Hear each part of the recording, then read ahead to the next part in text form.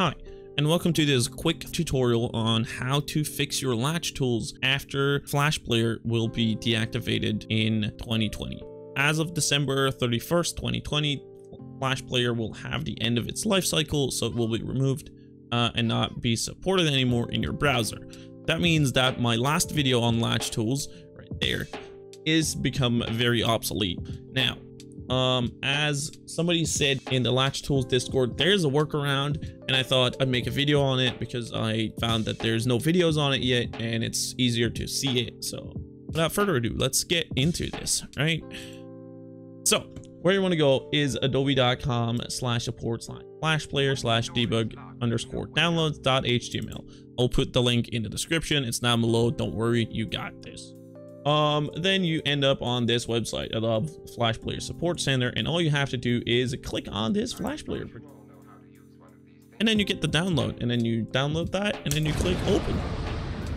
And it opens, and then that opens this page, and you're like, heck, what do I gotta do with this? Well, it's really simple. You click on File, Open, and then you get this. Then you click on Browse, go to your Documents, and then LachhhTools, Tools Widget.swf click on open, okay, and there you have it. LachhhTools in a separate entity on your PC.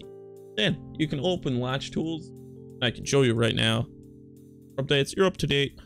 There you go, it's connected. No need for OBS, no need to edit hex values. You can just run it.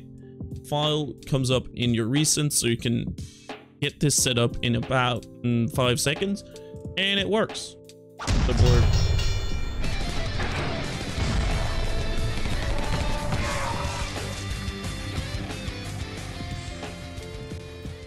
it just works. Um, so that is um, how you do it. That is everything for this video. Thank you for watching. If you have questions, feel free to come ask them in the Discord. Uh, send me a message on Twitter. Do whatever. Be nice. Wear a mask. Drink your water. All that pizzazz. I hope this helps if you're working with LachhhTools and you've kind of given up on it. That's it. Bye-bye.